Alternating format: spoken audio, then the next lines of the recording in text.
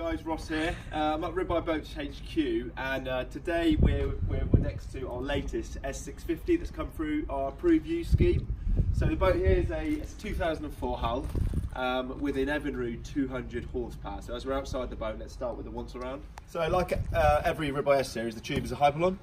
Uh, but what we've done, because it's a 2004 boat, we've replaced um, all the badges on the boat. So as you can see here, we've got brand new laser cut Ribeye eye logos, and we've done the same on the aft badges. Um, tube itself's in good conditions. There are a couple of wear marks uh, on the rubbing strake, um, but, but overall structurally, very sound indeed. Looking at the hull, this boat um, has come from the River Exe, so near Exeter, and it did live on the Exe Marina. So we've applied a brand new anti-foul, as you can see. So what that means for you is, if you're looking to, uh, you know, get a rib for a mooring or a marina berth, this boat's ready to go straight in the drink. So some of the things we've been doing to tidy this boat, as you can see, brand new uh, transom elephant trunks on here, um, and also just looking at the stainless steel, things like the fuel water separator in the splash well. Everything is really, really tidy uh, and ready to go. So let's get inside the boat and have a look around.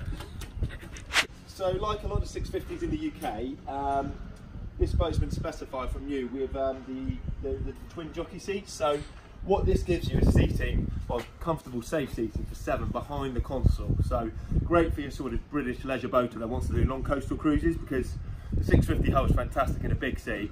So being behind the console, everyone's safe and secure, uh, and in the part of the boat which is moving less. Um, the back seat has actually been replaced, so we've got a nice new upholstered seat on the back base there. You've got your, your um, side throttle mount, um, so your, your throttle unit, so you've got trim which you can operate via your thumb. Um, hydraulic steering, it's a SeaStar ram on here which feels really nice and smooth. Uh, and then you've got your, your, your, compass and your engine gauges on the dash here, and a cup holder. Underneath the bow sunbed there's a large anchor locker. Let's have a look. So it's a great drainable space for keeping your anchor. For me, I quite often put things like wet mooring lines and um, you know wakeboarding impact vests in there as well, just to keep all the wet items together away from the other dry lockers. This is one of five lockers. So we've got one locker here, one, two, which underneath the, the front suicide seat there. There's access underneath the console uh, for your other locker there, that's your third locker. And then uh, you've got the jockey seat lockers and then the large locker underneath the back bench seat. Now my favourite thing about this boat for me, because I like to do a lot of mono skiing, wakeboarding and whatnot, is uh, the ski pole. So just got this out of the aft um, locker space here. This slots into this receiver here.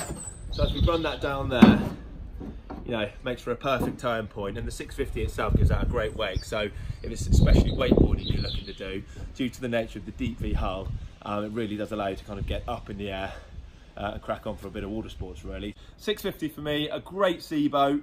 Um, six and a half is a really manageable size. So if it's a first boat or you're looking to sort of part exchange and get into something a little bigger, get in touch and I'll be happy to tell you more about the boat.